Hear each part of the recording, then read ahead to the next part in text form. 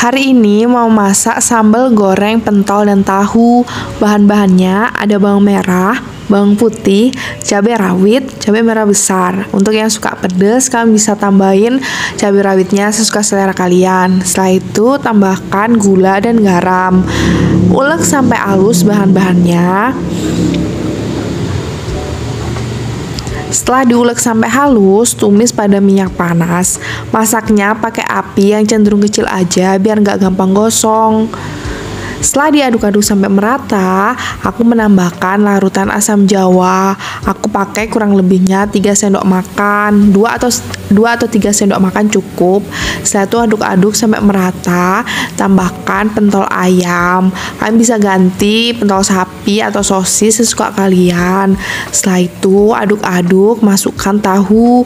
Tahunya udah digoreng juga setengah matang itu aduk-aduk sampai merata biar bumbunya tercampur. Kalian di sini juga bisa untuk mencampurkan penyedap rasa kalau emang kalian biasa pakai penyedap rasa. Setelah itu masukkan kecap manis. Aku pakai 3 sampai 4 sendok kecap manis. Aduk sampai warnanya coklat kayak gini, udah merata.